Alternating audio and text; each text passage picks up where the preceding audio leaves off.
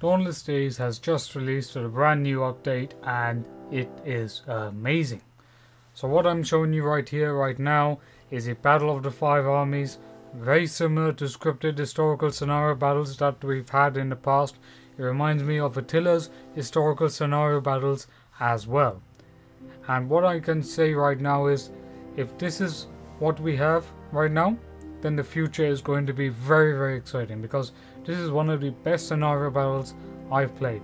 I really enjoyed my time in it and I really think you really need to check it out because it's an amazing amazing scenario and I cannot wait to see what we get with Helm's Deep, Minas Tirith, whatever. The modders in Dawnless Days have done their job and they deserve the recognition for it. And of course, we all give recognition to Dawnless Days, but to the wider community, to the wider Total War community, you are really missing out on this. This is such a fantastic update to this wonderful mod that you'll be amazed.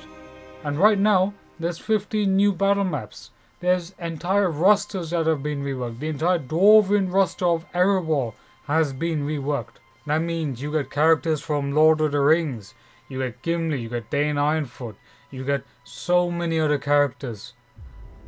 Assuming that is, but you can read the entire list of changes and updates on the Nexus page, which contains full information on what you need to figure out what's been added and what's not. There's been a huge variety of 15 new maps, land battles, sieges, let's go to uh, port battles, let's go to... There's so much more in this update that I would love to showcase. But I'm just going to showcase what I've captured, what I've given, and just give you my thoughts. So, of course, we have Gimli, Balin, and King Dain Ironfoot, which is absolutely awesome. I can't wait to see until we get Aragorn or something like that. We also have new battle maps. We have, of course, we have Isengard, the big bad baddie of all. We have Arthurdom, we have Emyn, Arryn, Dale. We got a lot of Dale maps. We have Drafenberg, Dunburg, Calamble, Ethering, we got Milond, Lonminor, Caradhras, and and we got Unfortified Town Assault, you know, Caras Ithland, Lunhold, plus we also have tile map map generation. Now that basically means that when you go to the custom uh, battle map, you will obviously you will obviously be able to choose where you want to fight, etc. But we have two new landmarks, Rammas Echor and Henneth Annûn. We've got farmland, we've got terrain variation added. There's been mountains that have been revamped for the Eric and Moria maps. And also we have a custom region generation around Ithilien, which sounds great. Plus, there's also a secret that you should really know, that custom siege ladders, that is, yes, we have custom siege ladders in this game, so that's awesome. And then the other thing is, we have head projectiles for onagers of Isengard, Dol and Mordor and Goblins. So whenever you're doing a siege at Dawnless Days, do be sure to use head projectiles. now, we've also got a dedicated crew for Goblin Onagers, we got all that type of stuff as well.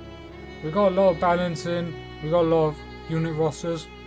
The update might be a bit small, but it's quite substantial in what it delivers. And anyway, sooner or later these maps are going to be on the campaign map at some point. You know, at some point. Because there's so many new maps I'm thinking that might be on the way. And I've been playing with Pope John Paul and he does amazing Dawnless Days content. And I've been playing with him and whenever we played multiplayer we used to play in the same uh, battle maps and I was like, you know, we really need new battle maps. And if you haven't heard of this mod, if you haven't played this mod, you're doing yourself a disservice. Go and get this mod right now. I urge you, this mod is going to replace your entire social life. And if that sounds appeasing to you and you are a Lord of the Rings fan, then this is the mod for you. And if you never tried Lord of the Rings, this mod, and the new update of course, is a great great way to get immersed into the Tolkien lore, so to say the least. But still, Don't forget to leave a like, share, comment and subscribe. I will see you on the next one. And yes, more content is coming for the Days from my side and I'll be making more. So see ya.